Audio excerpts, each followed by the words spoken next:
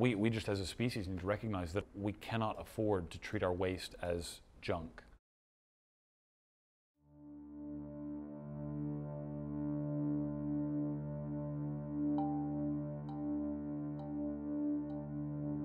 So what's ironic is that we are literally building with the best wood pretty much available in the world, but it was given to us for free. It's, it's an amazing thing. And uh, part of that is just because our society has not quite cottoned on to how much quality is there. And our, our values are so warped that we think that going to a big box store is where it's at where, when in fact, looking around you and, and, and really having an eye for quality um, is so, so important. And I, you know, I think this is a, um, it's almost a sort of spiritual, philosophical um, issue in our culture that we have, uh, we have abandoned our passion for quality.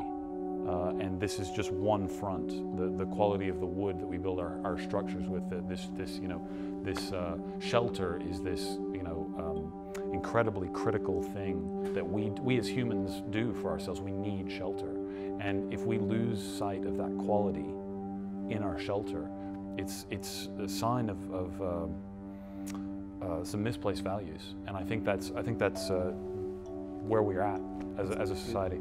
It's based on a misnomer and probably perpetuated for large part by the big corporations.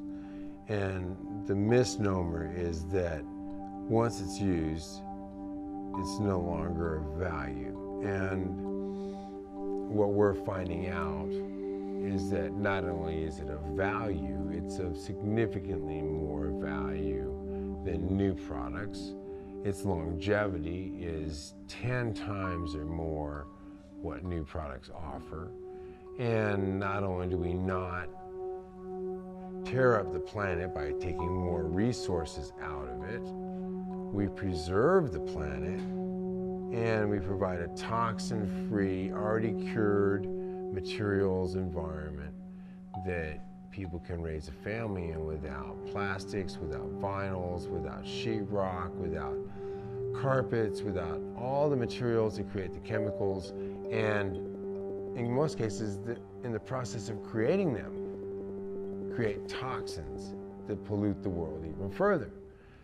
We cannot make progress toward the stopping of this insanity unless we come up with ways to build with 99% pure salvage as much as possible. If we can't do 99, do 75% pure salvage. But the idea being is I don't take the ore out of the ground and smelt it to form the iron, cast iron to build the tub, and then form it and then put the porcelain on it. And all that energy I've used up to make all those things and then transport it to Texas on a train can be saved. And if it's saved, I can run my house on the energy it took to make that tub if I use it again for 100 years worth of energy to heat it, to cool it in Texas off of just one tub. You add to that the sink, you add to that the energy to take the glass and make that, and I've effectively got a storage bank of energy. All this energy I saved before I ever moved into the house and lived in it, I've saved more energy than the house will ever use in my lifetime and the lifetime of all the people that will live in it after me.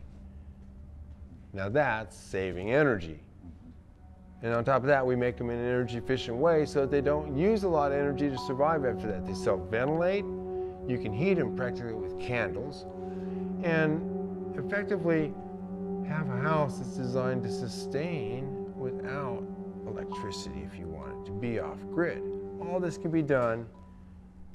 All materials that we do have to buy that are new, made in America, where it's not a lot of transport costs, it's not a lot of other variables, and materials that you can go out and get virtually for free for now until everybody wakes up and realizes just how valuable they are. Mm -hmm. And I think even even going uh, going forward, there's like this, uh, you know, we need to recognize that uh, we, we just as a species need to recognize that our, that our, uh, we cannot afford to treat our waste as junk.